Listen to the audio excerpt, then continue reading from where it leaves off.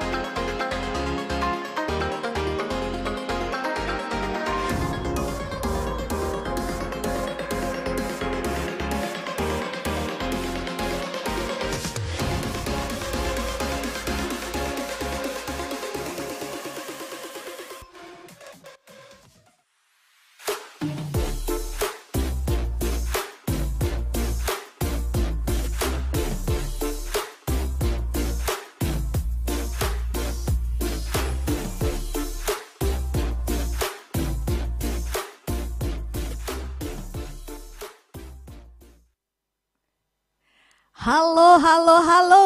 Selamat siang semuanya yang living members di mana saja berada dari Sabang sampai Merauke tentunya. Ketemu lagi dengan saya Indri Melani yang hari ini akan mengawal sesi kedua virtual farm dan berdasarkan feedback di sesi pertama kemarin bersama Nicholas Lendl, coba kita connecting sebentar. Jadi di sela-sela lalu, Nicholas bercerita tentang bagaimana tahapan mulai dari menanam, mengembangbiakan, memelihara, memaintain lavender sampai kemudian dipanen dan kemudian proses destilasi berlangsung, akhirnya dibotolkan dan digunakan oleh semua oilers di seluruh dunia. Nah, hari ini kita akan menyambung sesi kita dengan Nicholas dengan sesuatu yang lebih natural, sesuatu yang lebih menyentuh. Dan kalau saya boleh tanya teman-teman semua di rumah, kalau di Utah, yang udah pernah ke Utah, itu di sana sekarang jam berapa ya? Tengah malam ya. Nah, seseorang yang luar biasa di saat tengah malam waktu Utah saat ini sudah menunggu kita semua live untuk menunjukkan pusat destilasi kita di Mona Farm. Ada wow nggak? Ada tepuk tangan dulu nggak untuk kita semua? Oke, okay? jadi uh, supaya kita berjalan lancar nantinya, saya ada beberapa pesan. Jadi komen akan kita off sepanjang acara, baik di Zoom maupun di YouTube.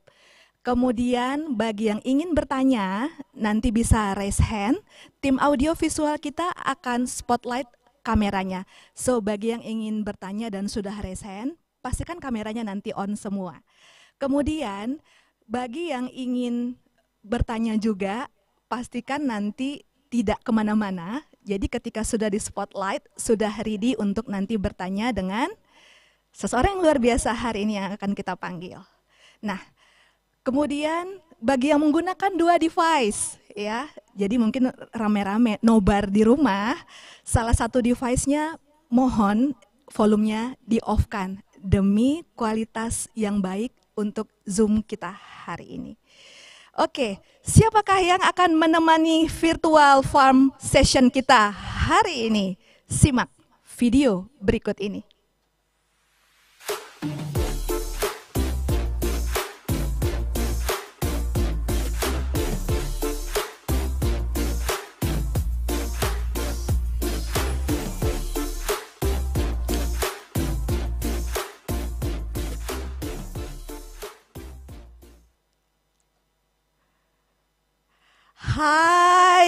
David Little, the agronomist from our global farm. Semua boleh say hi to David?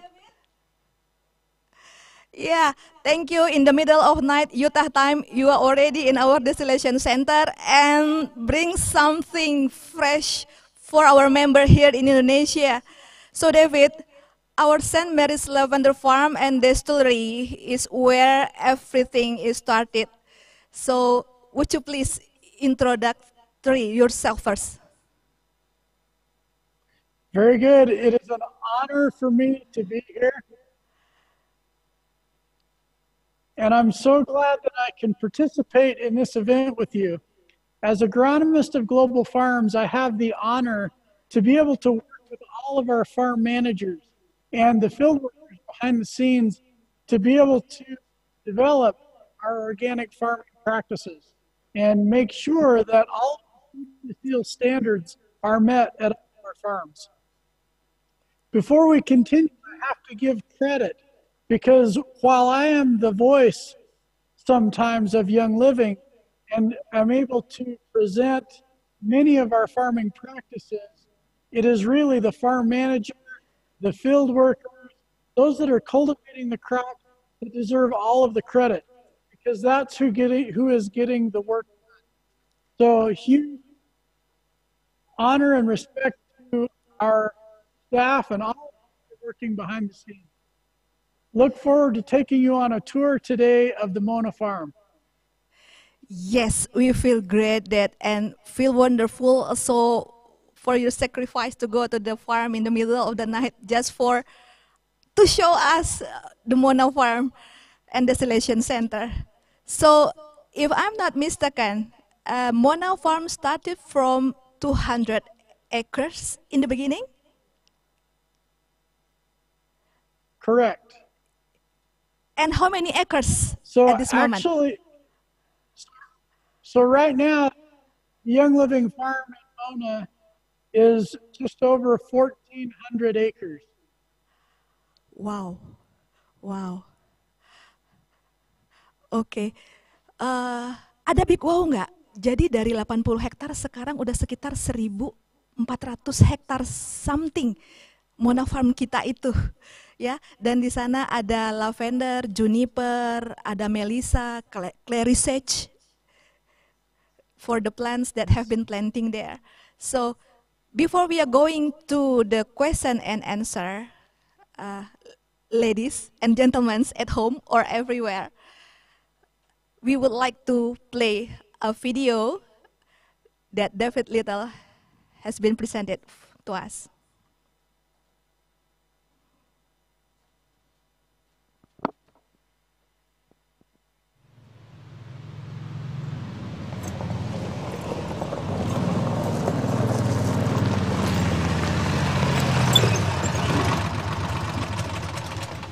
Welcome to Young Living Farms. My name is David Little. I'm the agronomist at Global Farms, and I'd like to take you on a tour today of the Mona Farm here at Young Living and be able to share with you some of the regenerative organic practices that we use at our farms.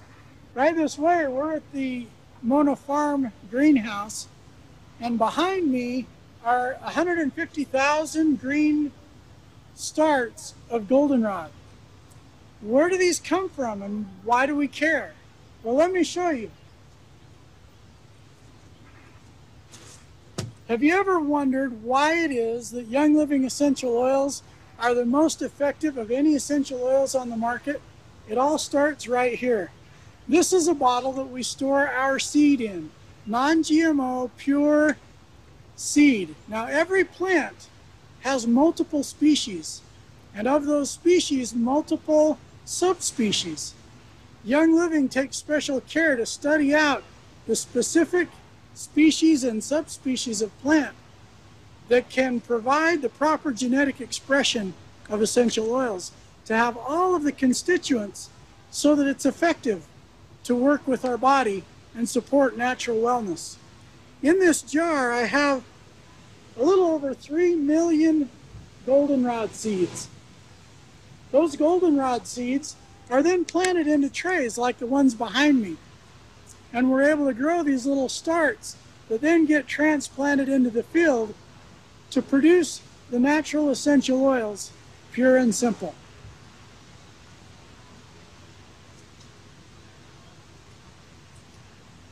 Once those seeds come into our, our greenhouse and we study them and test them, they have to go through a rigorous testing process so that we can ensure that they're the proper genetics and can provide the proper genetic expression of essential oils.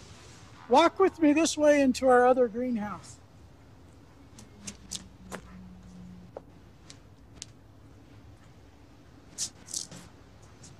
Behind me are about 250,000 lavender starts. These starts will be planted to the field, and here I have some lavender seed. Again, this is hand harvested from our own fields to ensure that we have just the right genetic expression of essential oils. When it's time to harvest for the production of essential oil, we save our best plants back and allow them to go to seed. And then we harvest that seed to bring it in and be able to plant our crop for the next year. Let's jump on the buggy and head over to the Blue Yarrow field.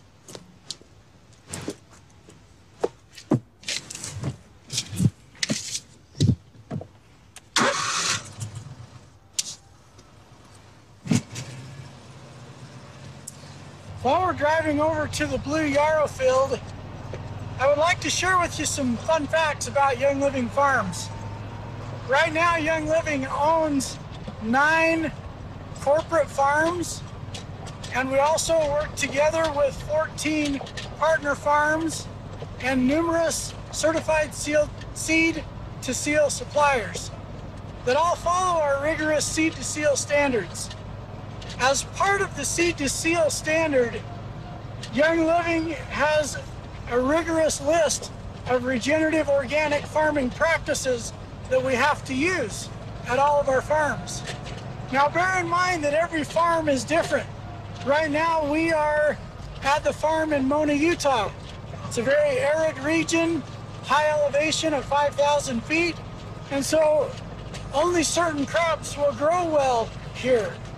But then if we, and so here at Mona, we have a very specific set of insects and weeds that we have to deal with as pests. If we go to our farm in Ecuador, that's a tropical region. A lot more rainfall and moisture, very humid. So a very specific species and types of plants grow in Ecuador. Then we go to our farm in France different climate, different environment. and then to our farm in Croatia and Tabiona and Canada and all over the world where we have our farms, very different climate, very different environment. And so with those different environments and climates, we have different insects, different weeds, different challenges at each farm. And so the regenerative organic practices that we use at each farm are very different, very specific to that farm and what its challenges are. We use regenerative organic practices including cover crops, organic fertilizers like compost and mulch, amendments of, orga of organic microbes. We also use beneficial insects like butterflies and praying mantises. And in Ecuador, it's a different set of insects that we use that are predatory insects on the insects that like to eat our plants. For weed control, we use weed burning and manual weeding. We also use inter-row cover crops. A lot of different regenerative organic practices. And we'll talk some more about those in a few minutes. But right now we're just entering our blue yarrow field. And I want to I want to share with you an experience that I had with Gary Young right here in this same blue yarrow field.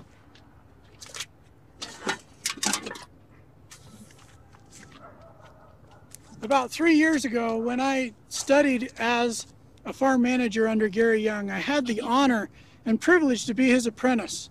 And he would take me through the fields and teach me about the production of aromatic plants and why we have to use regenerative organic practices in order for those plants to reach their highest potential. So we'd be walking along during during our stroll through the field and, and away we go. And all of a sudden I would lose Gary. And and I would next thing I knew I would find him on his knees. And he would be right in the middle of a plant, smelling the plant, and he would study the soil around the plant. And the next thing I knew is he would dig up a plant. Now this is blue yarrow, and blue yarrow is a perennial crop, and it's a very shallow rooted crop. And I want to see what we find as we study these roots and study the soil. And Gary would pull it up, and as a farm manager, he would say, What do you notice? And so I ask you the same question What do you notice? We have a lot of fine fibrous roots, which is an indication of good crop health. And we should have about as much root mass below ground as we have biomass above ground. All these fine fibrous, the, the smaller roots, are the feeder roots. They exude or kick out chelates and acids into the soil that release the nutrients the plant needs and brings it back into the plant. Let's see what else we can find here as we dig in the soil.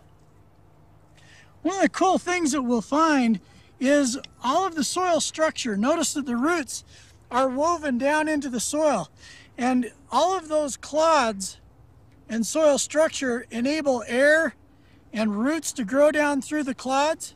And what we can't see are a myriad of microbiology, beneficial bacteria, amoebas, protozoa, nematodes, flagellates, all working together and mycorrhizal fungi down in the soil. And what are they? They're the caretakers of the plant. We have a living soil with this microbiology. So how do we achieve that? How do we achieve a living soil? Well, it comes in two parts. The first part is that when we rotate our crops, we put on about 10 to 20 ton per acre of organic compost and mulch. Then we come behind that with a multi-species cover crop. Eight different species of plants, each with a specific purpose to fix nitrogen, to put organic matter back into the soil, to break up hard packed soils with a deep rooting crop. And so each plant in that selection has its purpose. When we plow that cover crop under as a green manure, we're able to put back another six ton per acre of biomass put back into the soil as a green manure. All of that organic carbon from the compost and the cover crop and the living roots in the soil provide the microbiology food and life to grow, someplace to live, something to eat. And then we also repopulate beneficial bacteria and mycorrhizal fungi and, and we put those out into the field. And when we do that, they're able to break down that organic carbon and feed the plant in a form that the plant can use it in the form of enzymes, amino acids, and proteins instead of individual ions. And so what's great about organic farming is we're able, we're able to provide to the plant the food and nutrients that it needs in the form that it can use it in. So I want to take a minute and replant this plant. Bear with me.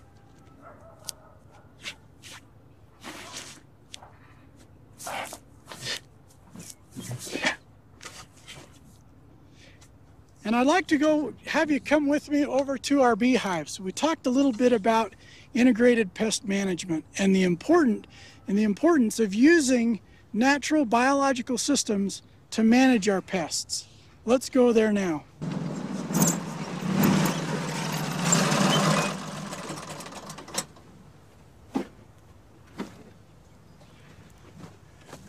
All right, one of the things about integrated pest management, here we are at our beehives. And here at the farm in Mona, we actually have three different locations throughout the farm where we place beehives. Bees are one of the numerous beneficial insects that we use as they are able to help us with pollinating all of our all of our crops and it's just a wonderful thing the bees uh, without bees our lives would end as we know it so we love bees uh, and one of the things I don't want to get too close because I'm not suited up but each of these bees know right where region of up to three miles to bring nectar back to their hive. On another occasion, hopefully we can get more into bees because they're very, very interesting. Also right here, what I have, we're gonna, I'm gonna have you walk with me out into the blue yarrow field again. As I want to release some of these beneficial insects. In this particular cup, what I have are the larvae and eggs of praying mantises. So in one of these little egg sacs, there are between 100 and 200 praying mantises. And all we have to do is, is to place these praying mantis egg sacs out into the crop.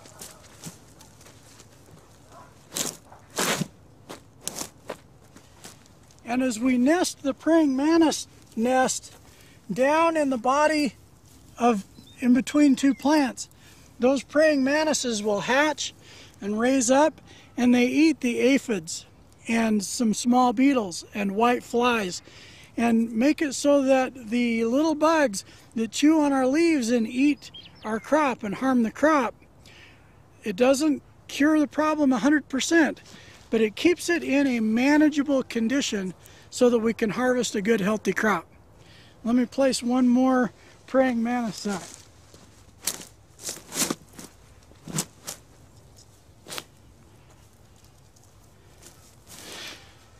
I place it down deep in the plant like that to protect it in the cold environment at night. We're still in the springtime here, and so down in the body of the plant will protect it from predators uh, so that those praying mantises can hatch and, and grow up. I also have right here a number of ladybugs, you guessed it. And as those ladybugs fly away, these ladybugs also are predatory insects. And instead of eating our plants, these ladybugs that are flying away and they'll, they'll help protect our crop right here, again, from aphids and white flies and other soft body insects that chew on the leaves of our plants. So I'm going to go ahead and release the rest of these ladybugs right out in, in our row.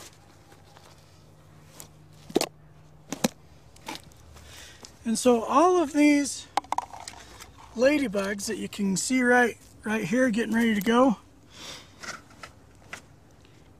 in time they'll take flight and they'll move to other areas in the crop and eventually they'll spread out across the crop looking for aphids, whiteflies, other soft body insects, and help us to preserve a naturally healthy crop for the production of essential oils. At this point, I want to take you back over to our show row where we're doing some research on some additional regenerative organic practices. And as we go head over there, uh, we'll be able to take a look at some different cover crops, inner row cover crops, and other ways that we use livestock in regenerative organic practices. So let's head over there now.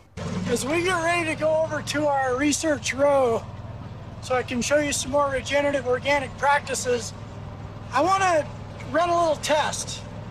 So far today we've been talking a little bit of farmer English. And so ahora quiero hablar en español. Tal vez me entienden, tal vez no me entienden. Or what if I speak in Chinese? Ni hao ma, wo jiao li dao wei, ni de dian wa du xiao. If I speak in Chinese or English or Spanish, those languages don't understand one another. Moreover, some of the words in Spanish and some of the words in Chinese don't translate to English.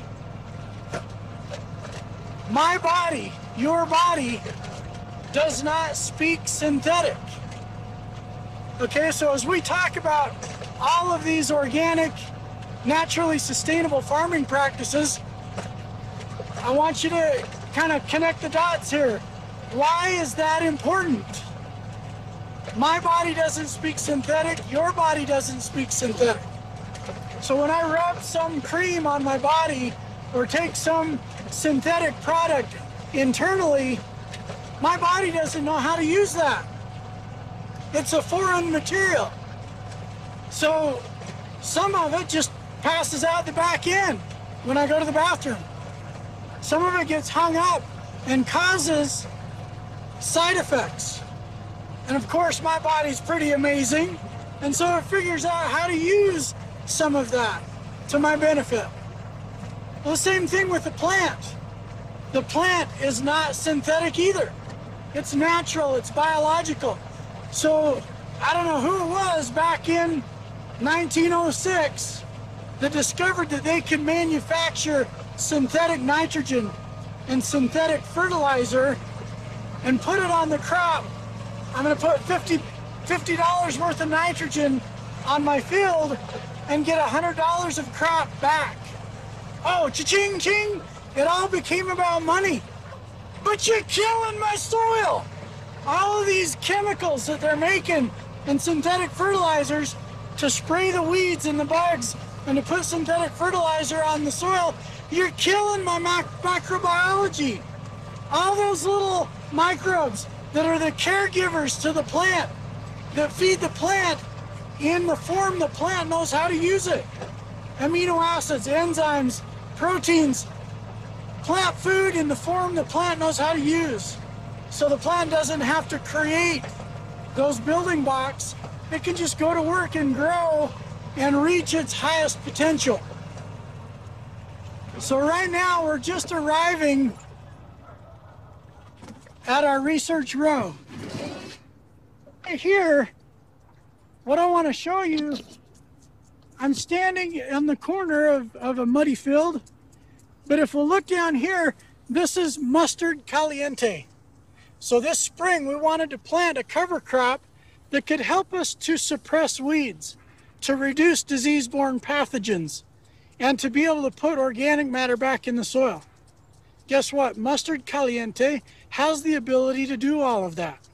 So we planted this early spring, and in about one month's time, this will grow up, and this mustard caliente crop will be about waist high, two to three feet tall. When we plow that under as a green manure, and then immediately plow it into the ground and irrigate it to seal the soil, it releases a natural fumigant of a cyanide gas that is able to neutralize or sterilize the weed seed. So we get reduced weed growth. It also sterilizes pathogens, so we get reduced soil borne pathogens and fungus and diseases in the soil.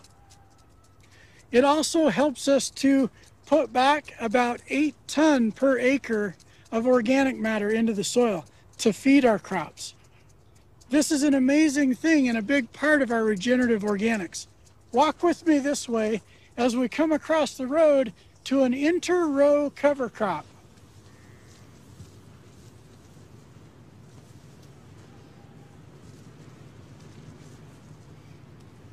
First of all, behind me, you might see some sheep that are grazing on this inter-row cover crop.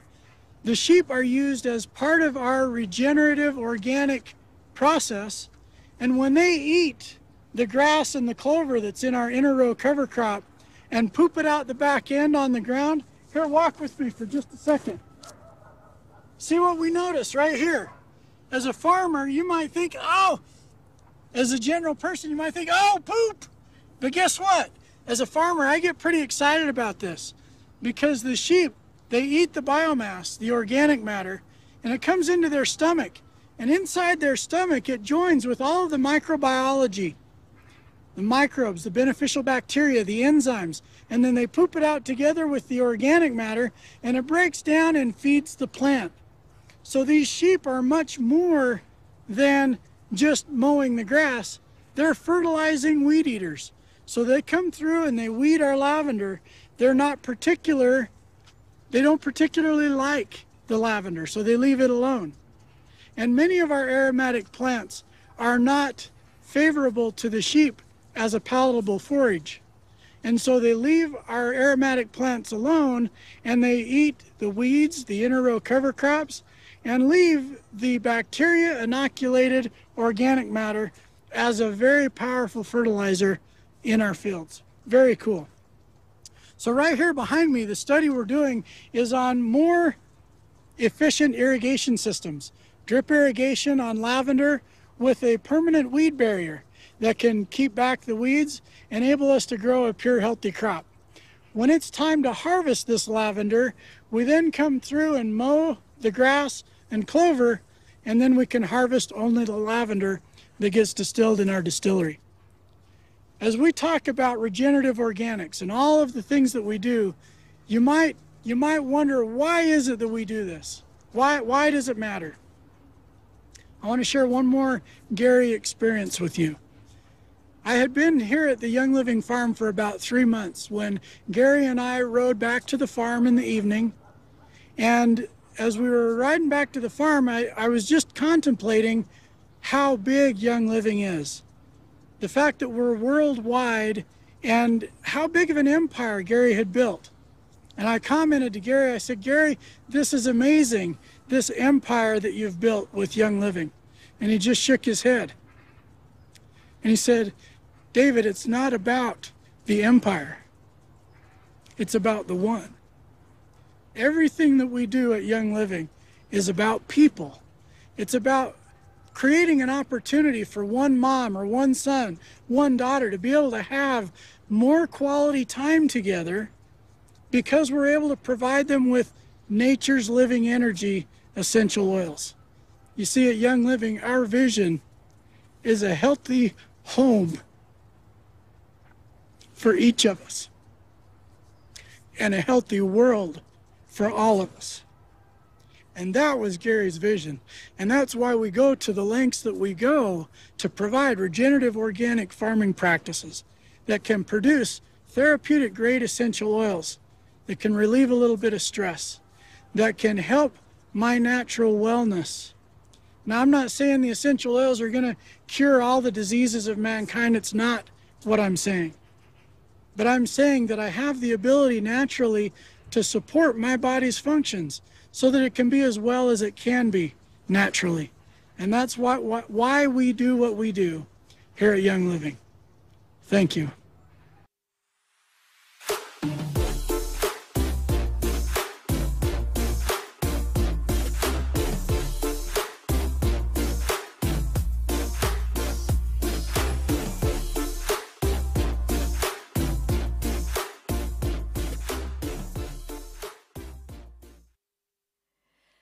Wow, that's really touch and feeling wonderful when we hear from you, David, about what is the reason behind Gary built her farm empire. And I'm pretty sure that all of us from here, our member from here in Indonesia, get so many, many more valuable information for them for enrichment and for you know sharing the good one, sharing the oils and sharing the information about seed to seal and organic practice.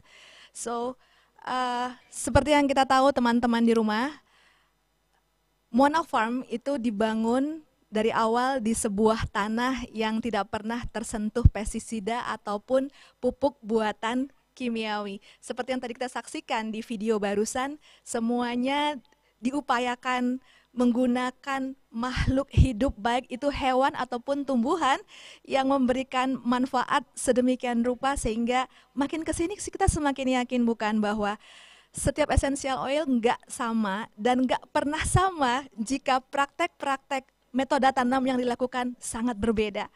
Semakin jelas sekarang ya perbedaannya. So, it's time for question and answer now, guys. Bagi yang ingin bertanya, boleh raise hand.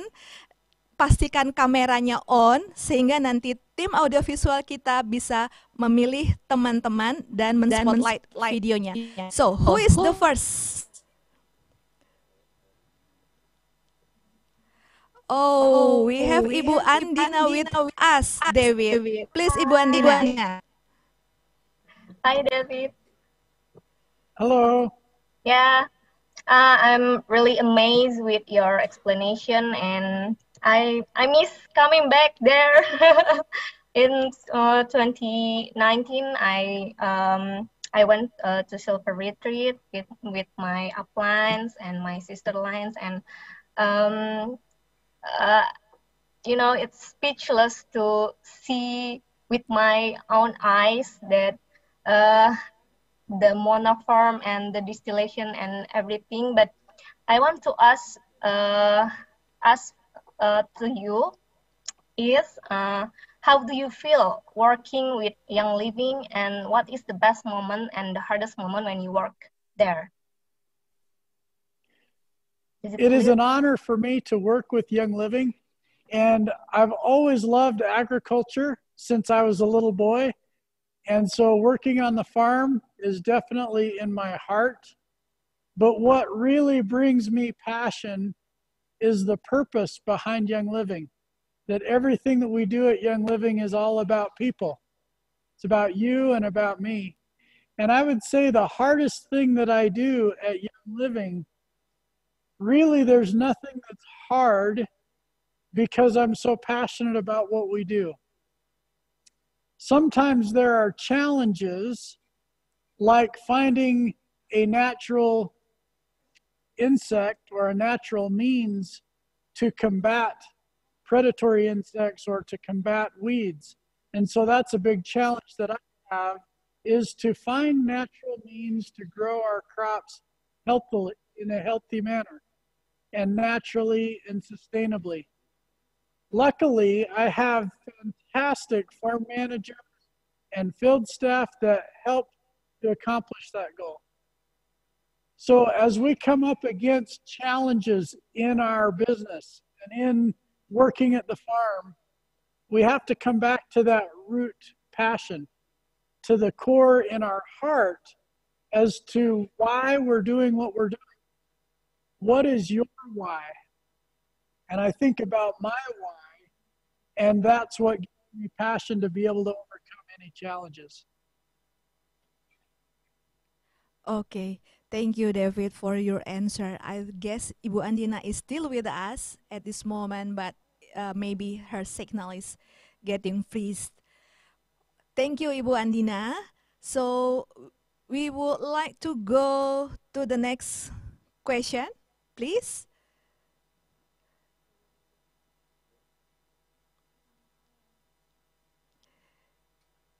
Hai Ibu. Silakan bertanya kepada David.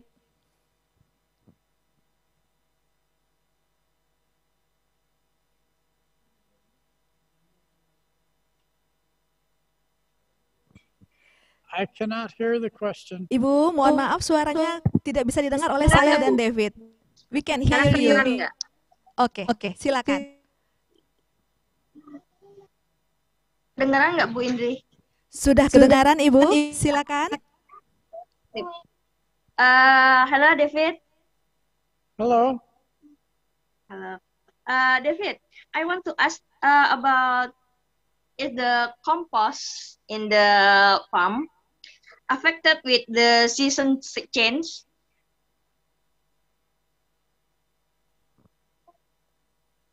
Okay, I want to repeat the question to make sure I understand it correctly. The question is Uh, the Is compo- the- uh, compost uh, and uh, another uh, another ingredient in the farm affected with the season change. Yes, very much so. Um, in the wintertime, it gets very cold, down to zero degrees Celsius or even below zero. And at that cold temperature, when it's frozen, the microbiology goes deep into the soil.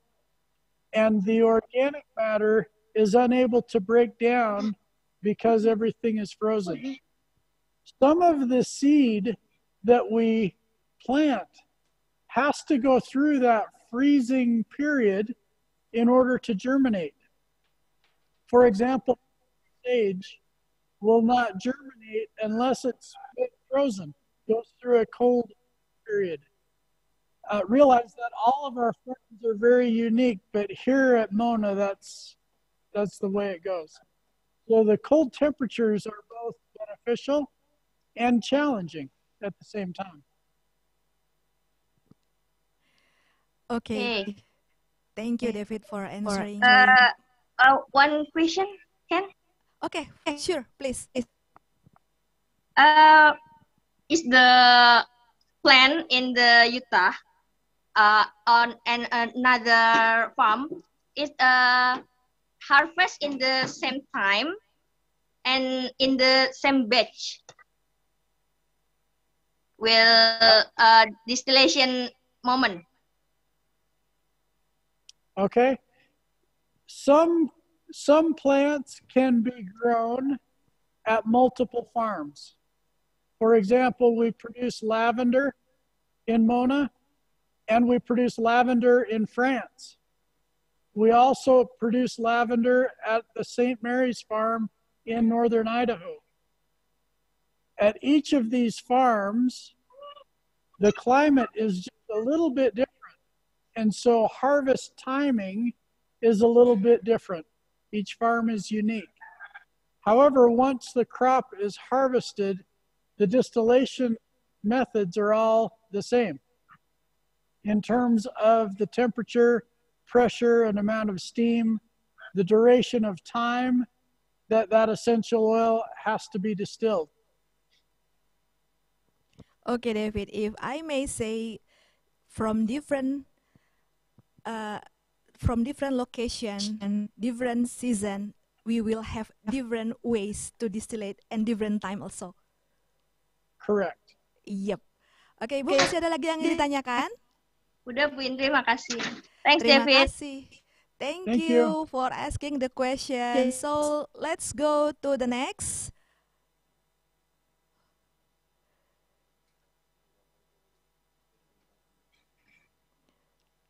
Bagi yang sudah raise hand, silakan kameranya di-on-kan supaya kenal sama Mas David.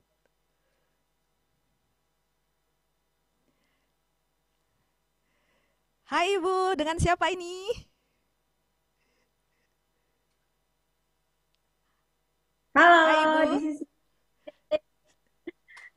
Hi, it's nice to see you. And yes, I would like to ask you a question uh, about interest about the fertilizer, especially from the animal. So, guys, in the animal, they're in a specific or a special place, and are you guys have uh, breed also the natural predator, like you said? I did not understand the question completely. Boleh tolong diulang Could Ibu pertanyaannya? Sepertinya putus-putus diterima oleh David. Oh yeah, okay. Mm. I want to ask the question about the fertilizer.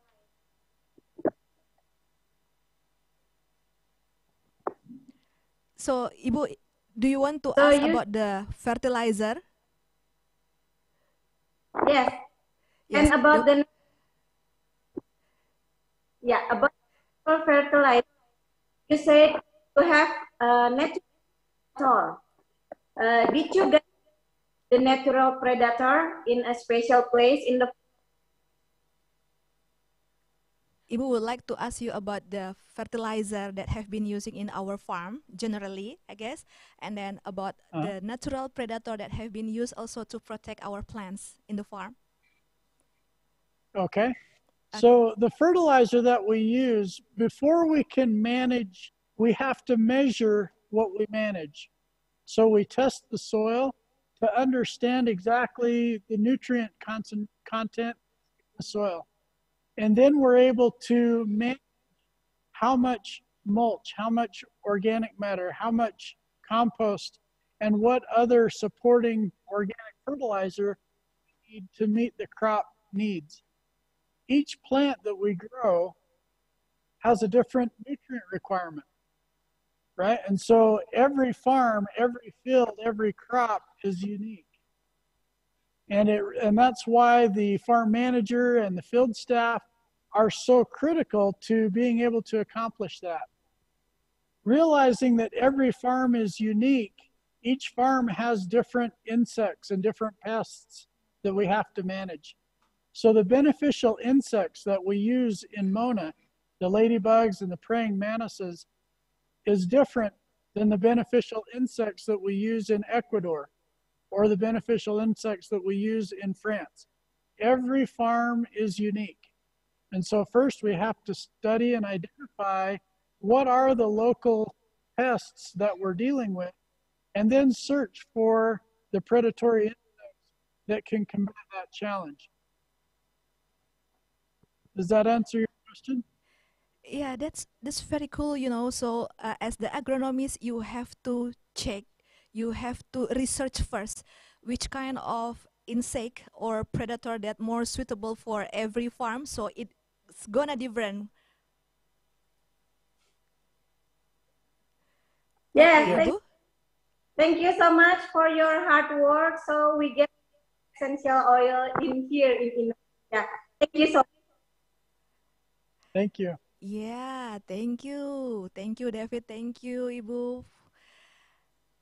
And hopefully what David David tell us about the natural fertilizer, the natural predator, it's you know, enrich our knowledge about how it goes the oil come from the farm to our home. Okay, we are still having one more. Hi, Ibu. I can't see you face clearly, but please, you can ask David anything related to the farm. Thank you, Miss Indri. Thank you, Mr. David. Uh, sorry, in my English is a little, little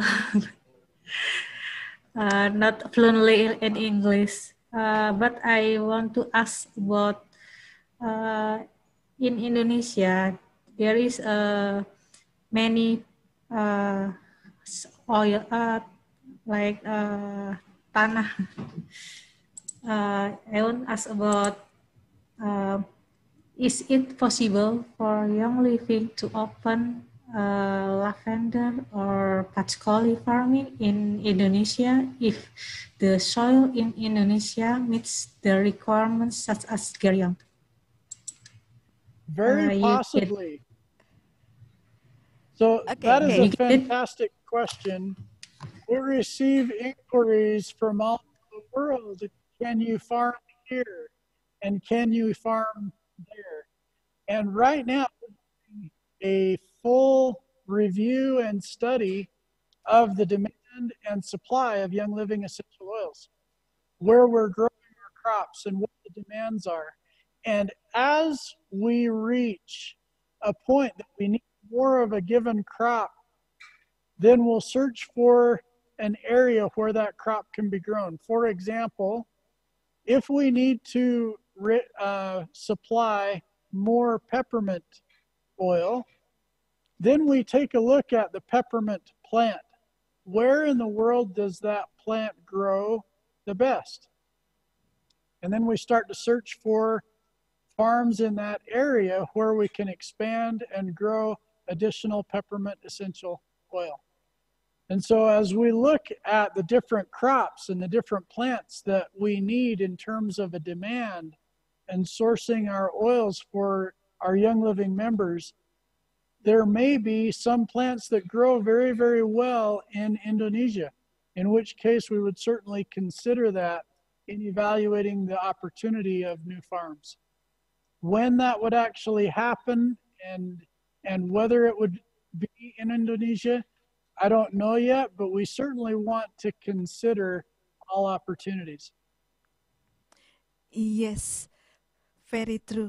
So at this moment, Ibu, Mona Farm itu adalah the biggest distillation center in the world as far as I know, uh, David. So maybe sekarang masih mencukupi dan kita nggak pernah tahu jika itu memungkinkan, tapi mungkin membutuhkan beberapa penyesuaian. Uh, we need some adjustment maybe if we would like to do so, David. Uh, I'm pretty sure about it. Do you still have a question, Ibu, for David? Uh, enough, Ms. Indri. Okay, thank, thank you you very so much, much. Mr. David. Oke, Thank thank you you. sudah bertanya Ibu dan bagi yang sudah raise hands please open your camera on so we could spotlight your video for the next question. Yes, dengan Ibu siapa ini? Halo Bu Indri dan David. Saya dengan Lucky dari Pontianak, West Borneo. Silakan. Halo. Oke. Apakah sudah terdengar? Sangat jelas Ibu, silakan ya. Okay. Uh, the question is uh, about climate change uh, in in Indonesia, especially uh, in global. Climate change uh, is a global issue. Uh, in Indonesia, uh, the climate change uh, affect unpredictable climate can uh, can affect crop failure. Um, the question is, how about in the Mona farm? Is climate change has affected plants and how your living face it? Thank you.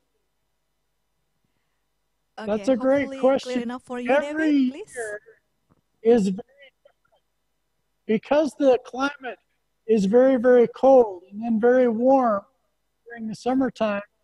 The climate changes every year. We live in a very arid region, and sometimes we don't get very much rain. Other years, we get more rain. Sometimes the temperature is is not as hot. Other times it's hotter. So from one year to the next, we can expect variation in the amount of essential oil that is produced by the plants and even the timing when we might harvest the essential oil.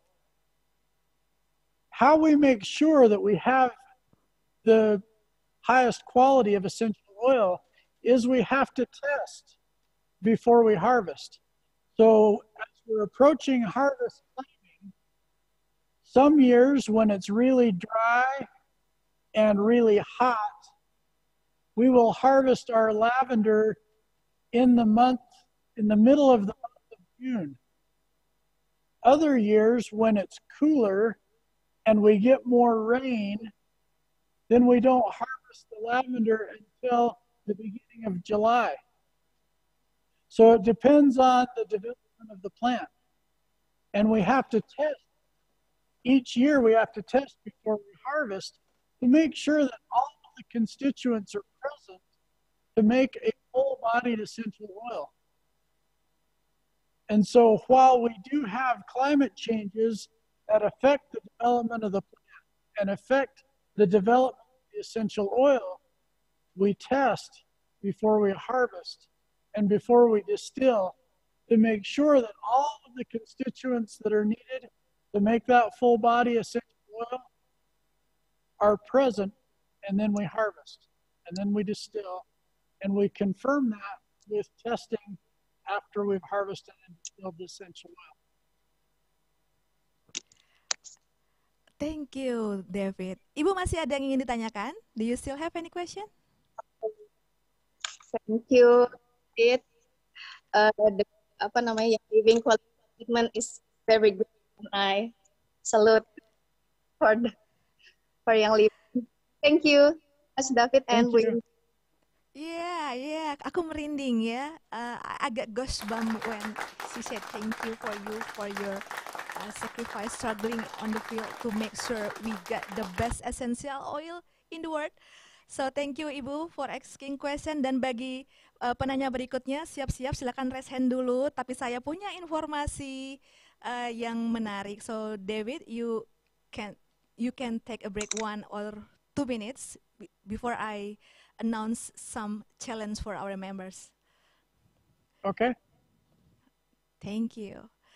So, berbeda dengan sesi sebelumnya, di mana kita punya kuis, maka untuk sesi bersama David Little hari ini kita punya challenge yang berbeda. Silakan di summarize tadi dari awal sampai barusan sharingnya David, tiga hal yang paling menarik yang bisa kita sampaikan, kita sharing kepada tim kita, teman-teman kita, dari apa yang sudah disajikan hari ini. Tiga hal yang paling menarik sehingga post itu di Instagram feed-nya masing-masing. Kemudian uh, tag YLID underscore education, tag juga yang living underscore Indonesia, maksimal hingga Sabtu 20 Februari jam 23.59. Tentunya ada hadiahnya. Apa itu? 3 peppermint 15 ml untuk tiga pemenang. Ya, pastikan kontennya menarik, taruhnya di feed, kemudian selain YLID underscore education ataupun yang living underscore Indonesia, mungkin kakak-kakak leader semua punya seseorang yang membutuhkan informasinya, boleh di tag juga. Catat tanggalnya maksimal hingga Sabtu 20 Februari jam 23.59. Oke, bagaimana rasanya setelah kita mendengar tanya jawab yang setengah jalan berlangsung ataupun materi yang sudah disampaikan langsung oleh David Little dari Mona Farm Utah. Ada yang belum ke sana, makin pengen ke sana nggak? atau yang sudah ke sana pengen ke sana lagi tadi seperti Bu Andina? Acungkan jempolnya bagi yang pengen ke sana. Yeay, ada banyak yang mau pengen ke sana. Oke, uh, apakah sudah ada penanya berikutnya? Baik, jangan lupa kameranya di on supaya teman-teman audiovisual kita bisa langsung men-spotlight videonya kakak-kakak sekalian. Here we go, David. Halo Ibu. Ibu Mora, are you with us?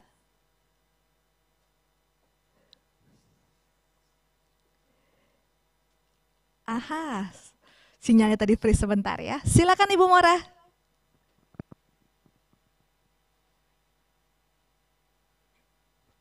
Ibu Mora mohon maaf, suaranya tidak terdengar. Hi, David. You doing, Trey? Hello. Um, uh, one question. Um, I'm wondering if there's um, any possible if someday one of the plan will be run out, maybe because of force major, and what if that happened? What is the precaution action that Young Living will do.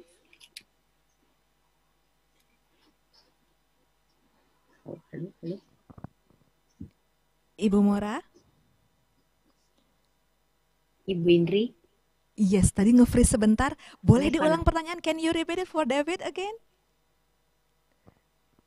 Um, just wondering if there's any possibility if one of the plants will be run out if one, sorry, I don't understand. If one of the plants do what? if one of the plants someday it will run out or Ah. because yeah Yeah, that's a great question. That is one of the reasons that a key part of Seed to Seal is sustainability. We have to make sure that what we're producing today can not only be produced tomorrow, but it can be produced in an increased volume in a more natural, the most natural way possible for years, years, and years to come one of the responsibilities that I have, and it's not just me, it's an entire team. We have a seed to business organization led by Corey Hout, Brett Packer, and Chris Packer, who their focus is on ensuring the long term sustainable supply of Young Living essential oils. And we continually evaluate our demand, how much is being produced at each of our farms, and plan ahead to make sure that we have enough production to meet our demand. We have a certified seed bank because without the seed, there is no plant. So we have a certified seed bank where we store seed so that we can continue to expand and grow as needed. So, in order to meet that demand and ensure that we don't run out of a plant, it takes very careful planning and very careful management to ensure long term sustainable growth of Young Living essential oils. Very interesting, David. Ibu Mora, do you still have any question? No, and I feel so relieved knowing that the Young Living is already prepared and thinking for the long term for us uh, to um, to feel and to use the Young Living essential oil. Thank you, David. Thank you, Indri. Thank you, Ibu Mora. Yeah, we're pretty sure that Thank you. we have so many experts in teams. One of them is you, David, and you are with us now, so you can explain anything related with the farm practices at this moment. And the next, ah, Ibu Advirani. Please, Ibu. Hai David, terima kasih Bu Halo. Indri. Em, mungkin aku pakai bahasa Indonesia nggak apa-apa ya. Okay, I Nah. would love to translate it for you. Please, Ibu. Eh, David, eh, semua semoga di sana semuanya sehat-sehat saja. Em, aduh, aku gemeteran.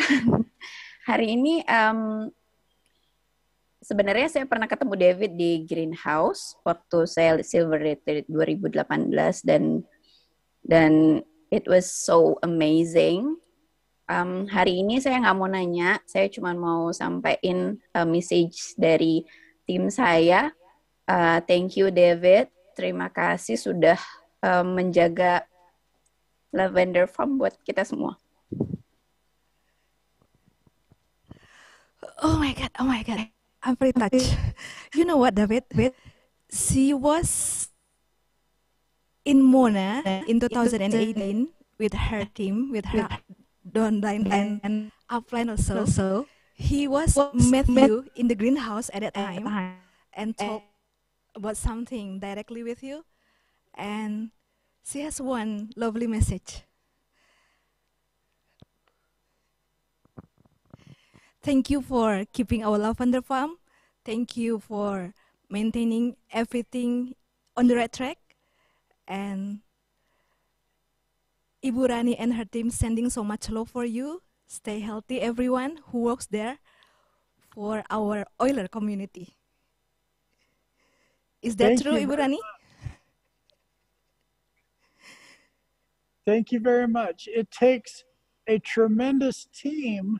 Not, I have the honor to be the messenger and to be able to be with you today, but there are hundreds of employees of Young Living that are working at our farm and working at our farms all over the world. And really, we have to give every individual the credit for all of that work. And it's really an honor to be with you here today and to share. because everything that we do at the farms is for nothing if it were not for you, our members. Because I don't know who you know, right? I, I can't come and meet with your families and with your friends. And so I appreciate, and all of the Young Living farm managers and farms appreciate everything that you do as members because you make our work effective. You enable us to arrive at every home. Thank you. Wow. Can you feel that vibration, David? Thank you, Ibu Rani. and, and ada yang cirambai juga nggak di rumah? thank you, thank you for your lovely message, Ibu Rani. Uh, we can feel it, literally feel it. Thank you, David. Thank you, Ibu Indri. Thank you. So, who is our next guest?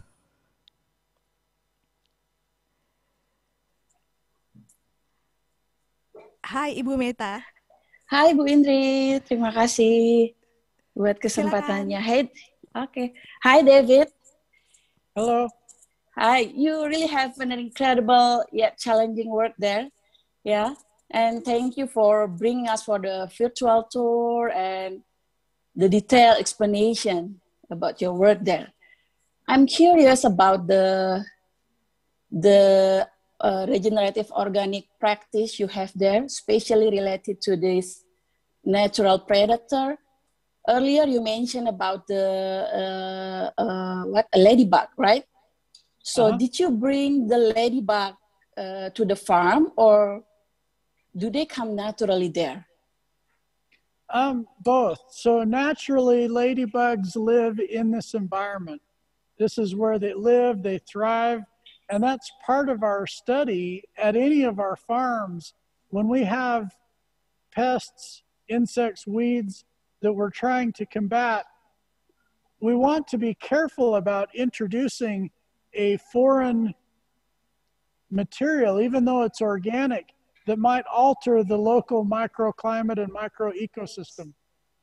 So we have to select insects, predators, natural uh, to join the environment in a sustainable and in a balance of nature.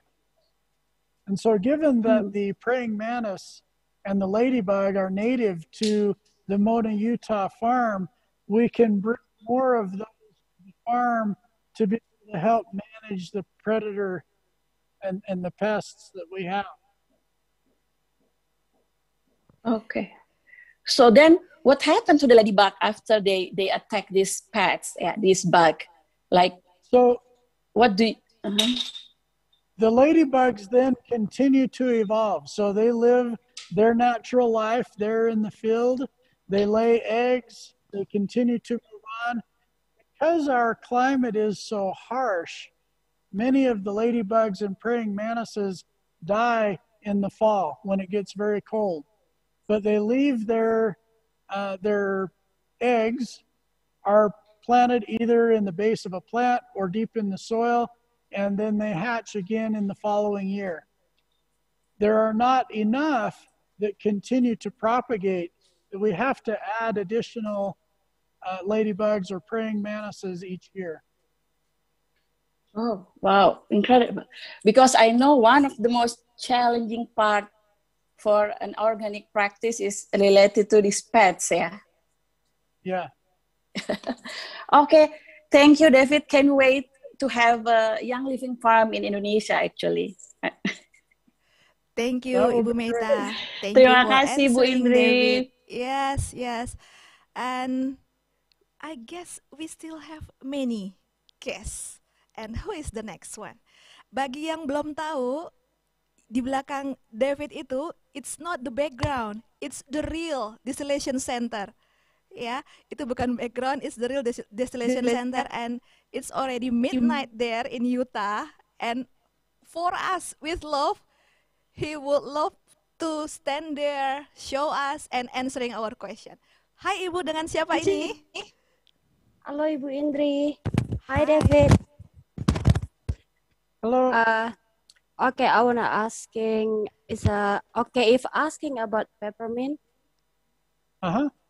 Yeah, okay.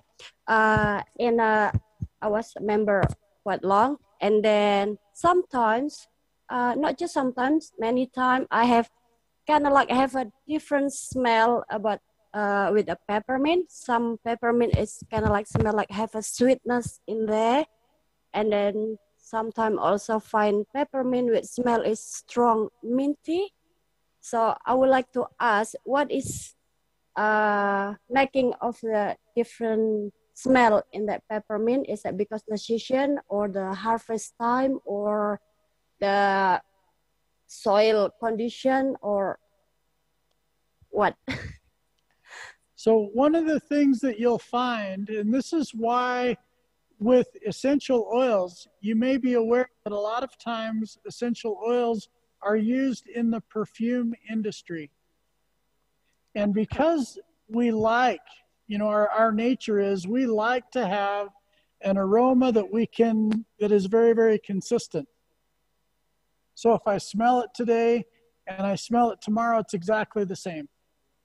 And that's why so many of the essential oils on the market have gone to a synthetic essential oil.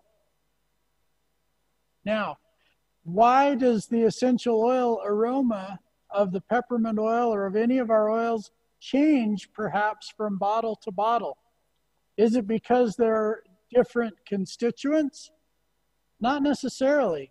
It is because each plant, each year, the climatic conditions change its nature. And so it's not going to be exactly the same twice in a row.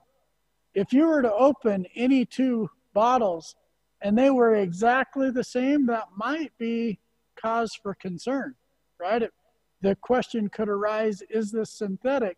Because it's exactly the same aroma time after time after time. Some of our plants, for example, the blue spruce, the grand fir, that's very, very consistent. Year after year after year, bottle after bottle after bottle. However, peppermint, the uh, the compound that makes the aroma, is very uh, it fluctuates a lot by climate, by uh, the region, and so because it's natural and that natural tendency to change, it's going to be a little bit different. Um, I don't know if that answers your question or not. Uh, I think yeah, so I can understand. So I mean, because it's a natural, so uh, mm-hmm. kind of so like not- weather also affected on the uh, drawing time or the smell of the the peppermint, kind of like that. Yep. So one of the things that we've found, in order for that essential oil to be effective with my body, in order for it to speak my language and support my body's natural functions, the aroma of that essential oil doesn't have any impact on that oil's ability to support my natural wellness. What does have an impact are the specific essential oil constituents uh, and at what concentration. And so all of our essential oils go through a very rigorous testing to ensure that we have just the right amounts of each constituent in that essential oil. Seed to seal and the seed to seal standards ensure that we're able to sustainably grow the essential oil plant in a way that it can fully express its genetic expression of essential oils, that it can fully develop a full bodied essential oil. And then when we test it, we ensure that all of the constituents are needed for it to fully uh, support our natural. Let me give you an example. Do we, do we have time for an example? Yeah, sure. Okay, suppose that we're in the jungle. Okay, we're going to go to the jungle. And when we get to, we're going to march through the jungle. And when we get to a ravine, there's a bridge. And we look at this bridge and we think, do we want to cross this bridge? It's a rope bridge. And we look and it's been there for hundreds of years. And that bridge is missing some of its supports. And some of the boards are broken or, or mossy about to break. Okay? And so when we go to cross it, we're concerned because if I cross this bridge and it doesn't have all the supports, am I going to make it to the other side? So we look down the ravine and we see another bridge and we go down there and that bridge has all of the supports, has all of the ropes supporting the bridge and it has every board. So it's a complete bridge and it's very solid and very secure help get us to the other side. Now I share this example because it relates to essential oils. In the industry, there are a lot of different essential oils on the market, a lot of different manufacturers of essential oil. If I don't distill the essential oil at just the right time, or just the right temperature, or, or harvest at the right time, does that mean it's not going to be peppermint essential oil? No, it's still peppermint essential oil, but it may not be effective at supporting my natural wellness. What I mean by that is it might be like the bridge that's missing some of the supports. It may not enable me to bridge the gap. Essential oils help our bodies to bridge the gap of mortality. They help our bodies to function better naturally. And how that is, is they bridge the, the gap to some degree. And in order for that essential oil to be effective, it has to have all of its supports. It has to have all of the constituents that are needed to meet the function of that essential oil. Aroma, while we would like it to be the same every single time and a pleasing, sweet peppermint aroma, that's not one of the components of a full body of essential oil. It's not one of the constituents that are like the supports in the bridge. So as we look at seed to seal and what that standard represents, it enables us to ensure that the essential oils that we produce are full bodied, that they have all of the constituents needed to fully support our natural wellness in the way that a bridge that has all of the supports will help us to arrive at the other side in good condition. Thank you for letting me share that experience. Wow, that's wonderful. Thank you. Do you Thank have still? Uh, no, I think that's enough. Thank you, David, for explaining. Yeah. Thank you, I Ibu. can Sampai understand. jumpa. Thank you, Bu Indri. Okay, David, if I may say, uh, great aroma with not great constituent and percentage is not great at all. Okay, then we still have one more guest. Ha, a man. Hai Bapak. Halo, Dengan siapa Bapak? Adian Bu. Oke, silakan Bapak. Ah, hello David. I have uh, two questions. Okay. The first one is uh, why Blue Yarrow only produced uh, in Canada? Would, will it be produced uh, for worldwide soon? Question. So lavender, we use the same the same genetics of our seed is used in France as we use in Utah. So the same same plant genetics, same seed, same variety. The climate and soil do have an impact on the growth and production of the plant. However, in the case of lavender, it does not have an, an impact or an effect on the quality of the oil, right? So we're able to test and measure and ensure that the oil that's produced in France and the oil that's produced here in Mona all have the same essential oil constituents. In the case of our St. Maries farm, the constituents of that lavender is just slightly different. That's in northern Idaho.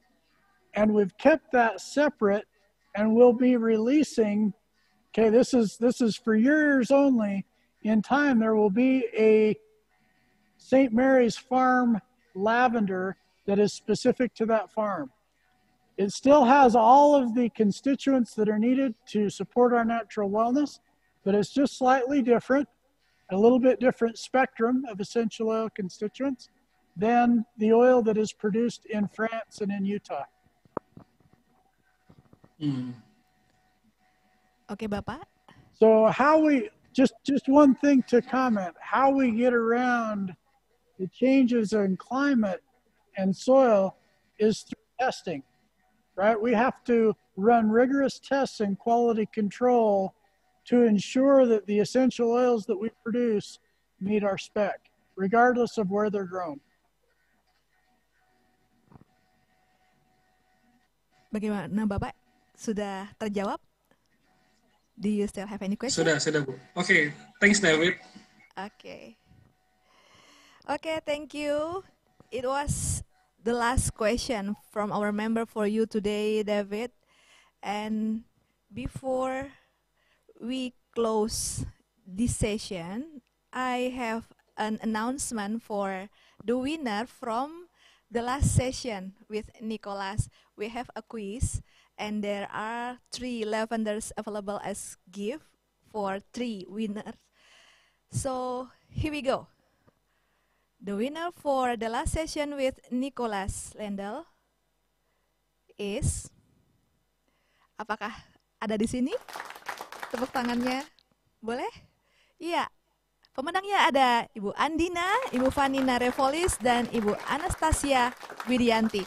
Congrats for our winners from the last session and do not worry for David session we also will have some more winners too and David I know it's you know we do not want to say goodbye with you because there are still so many questions but the time is the limit today but maybe we would like to hear from you some encouragement to keep the spirit for our members here. Absolutely. So if there are other questions that we did not have time to address in today's meeting, please send those uh, questions to me in an email if we can. And so we can communicate and, and I would be more than happy to answer any questions that you have afterwards via email. So let's communicate. Again, I just want to point out a huge expression of gratitude. And the way for me that you can amplify your business and amplify the purpose of Young Living is to really focus on your why. Why you do what you do. And for me, it's everything that we do at Young Living is all about people. I think about my kids. I think about my wife and my son. I think about my friends and family, those that I care about. And I, I go and sit on a bus next to an individual that might have an ailment, right? They're not perfect. So our bodies are going to have pain and we're going to have anxiety. That's part of this life. And I recognize that that individual needs something. And we have something that we can share with them that can support their natural wellness. And I feel so inspired to develop and give so that we can reach Gary's vision to have a healthy home for each of us and a healthy world for all of us. And, and that's how we amplify our business is to focus on that passion and reach out and touch not everyone, but touch one someone. Be someone for someone one person at a time, and then they can reach out and touch one somebody else. And, I, and that's how it expands and grows until Young Living Essential Oils can be impactful and helpful for the natural wellness of all. Thank you for your time tonight. It's been an honor for me, and I hope to see you at one of our Young Living farms very soon. Thank you. David, we do thank you and we do honored by you. Then send much regards from us to you and all of the co-workers in the farm. Stay healthy and hopefully all of our silver leaders could visit you and the farm very very soon. Kakak-kakak member semua, terima kasih atas semangatnya untuk belajar hari ini di situasi yang tidak menentu cuacanya di Kuningan sini. Dan uh, jangan lupa ikuti Instagram challenge-nya, post tiga hal yang paling menarik di Instagram feed masing-masing. Tersedia tiga hadiah peppermint essential oil 15 ml untuk tiga pemenang. Ah, berat sekali rasanya berpisah, but thank you and bye-bye Indonesia.